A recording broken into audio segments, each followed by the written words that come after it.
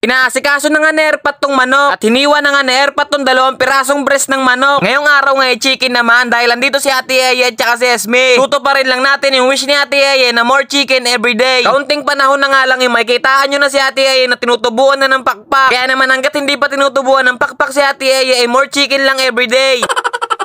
Pagkatapos nga kasi kasuin ni Erpat tong manok na gagawin kong inasal, pinaghihiwa niya naman ng maliliit tong manok para sa magiging panahog ng munggo. Kaya naman dinadoble hugas na rin ni Erpat tong munggo hanggang sa maging malinis ang tubig. Gusto kasi ni Erpat na humigop ng sabaw kaya naman dalawang putahin na naman na makikita nyo. At isinalang na nga rin kagad ni Erpat tong munggo para mapakuluan na muna. Pamamantikain naman muna ni Erpat yung taba-taba ng manok para naman gagawin kong chicken oil. At pinagagayat na nga rin ni Erpat tong sibuyas ng maliliit para sa panggisa ng munggo. Isinunod na nga rin kagad ni Erpat hiwa-hiwain tong mga bawang lang, pipinuhin niya lang yan tsaka niya titigilan at sinunod niya na rin to kagad ng mga luya. Mala french press nga lang ang itsura nito tulad ng dati at sinunod na nga itong kamatis. Request ng mga perpektong tao. Kaya naman after na pati wahiwain itong mga panggisa niya ay mabalik na nga tayo rito sa gagawin kong chicken oil. Siyempre hindi makukompleto ang inasal natin kung walang ganito. At sa mga utol natin dyan na hindi pa marunong gumawa ng chicken oil, napakadali lang. Pagkatapos nga magmantika ang taba ng manok, ilaglagan nyo na kagad ng atswete. Isunod nyo na nga rin kagad, ibagsak ang mga bawang at kayo na rin ang bahala sa asin para para sa pampalasa. Mahinang apoy lang mga utol ha. At kapag naprito na ang bawang mga utol sa mahinang apoy, pwedeng pwede nyo nang iahon yan. Palalamigin ko nga muna ng kaunti yan sa mangkok tsaka ko ililipat sa bote. Bumili kasi kami dati ng chicken oil nung nag-inasal kami noon. Grabe nga 180 ganyang kaliit. Kaya naman hindi namin tinapon ng bote para naman kapag naisipan namin na mag-inasal, eh, gagawa na lang ako ng sarili kong version ng chicken oil. O di ba nakatipid pa. Pagkatapos ko nga asigasuhin yung chicken oil, pinagagayat ko na rin tong bawang dahil imamarinate natin tong manok natin ng panginasal asukal. Binuhusan ko na nga rin kagad na itong oyster sauce tapos sinabay ko na rin itong ketchup. Tansyahan lang tayo mga utol sa mga nilalagay nating pampalasa. Pagkatapos ko ang buhusan ng mga liquid sauce yun, ipinaghihiwa ko naman itong mga kalamansi. Basta mag-combine lang ang mga sauce na nilagay nyo mga utol ay swabing swabi na yan. Para naman po sa mga gustong gayahin itong pagmamarinate ko ay wala naman po akong problema doon. At inuulit ko po para sa mga may gusto lang. Pagkatapos ko naman ilagay lahat ng mga pampalasa mga utol, ilamas-lamasan nyo lang hanggat sa kaya nyo. Ay lalo mabisa yan kung lahat ng parte ay malalagay lalagyan. Ibababad ko nga lang muna yan kahit mga kalahating oras lang mga utol bago natin yan sustensyahan. Kaya naman sisimulan na nerpat tong recipe niya. Inuna na nga nerpat tong ibagsak tong mga luya. Hinalo-halo nga lang at sinabay na rin tong mga bawang. Nung medyo golden brown na nga yung mga bawang, eh na rin kagad nilaglag nerpat yung sibuyas. Kasunod naman na inilaglag nerpat yung kamatis na request ng mga taong perpekto. At binagsak na nga rin tong mga manok ng maigisa na. Halu-haluin nyo lang mga utol hanggang sa dumikit lahat ng mga panggisa. Inuusan na nga rin kagad nerpat ng isang buong pamintang pinot binagsakan na ng isang nor cubes at para maging masarap, lagyan ng isang buong magic sarap.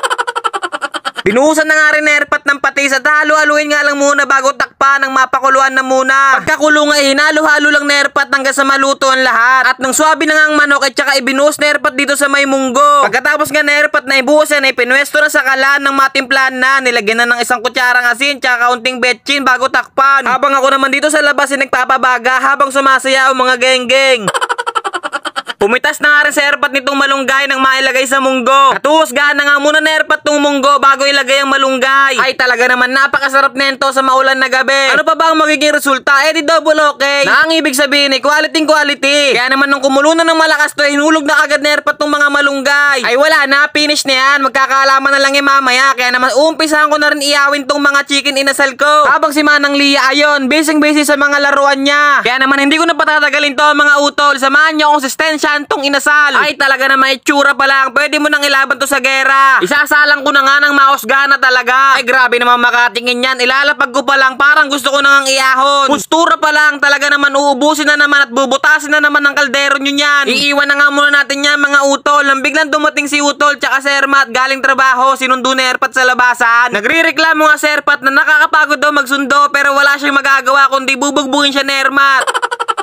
Kumis na nga rin si Manang Lia sa mami at lola niya kaya naman babalik na rin na natin to mga utol. Ay lalo nga ako natataka nung naibaliktad ko na parang gusto ko ng kumurot. Gantong itsura ba naman kasi kung hindi mo man to panggigilan ay ewan ko na lang sa'yo. At para mas lalong sumarap pa ipapahiran ko pa yan. Ewan ko na lang kung tumayo pa si Ate Eya sa lamesa. Sa sobrang busy nga namin na si Kasuy lahat ng uulamin ay nakalimutan na namin magsaing. Kaya naman nagpabili muna sa airpot na itong mo ito habang waiting kami sa sinaing. Iyahan ko na nga muna tong mga luto na para makatikim na rin. Tamang shot na muna kami rito nila Airpat, Airmat, Esme, tsaka ako habang waiting kami sa inasal. At nung napansin ko ang okay na, tsaka ko naman pinag-aahon na lahat ng makakain na rin. Ay talaga naman itsura pa lang pag-aagawan na. Kaya naman dumiretso hain na rin si Airpat na makakain na kami lahat. At kanina pa gutom na gutom sa mga amoy na naaamoy.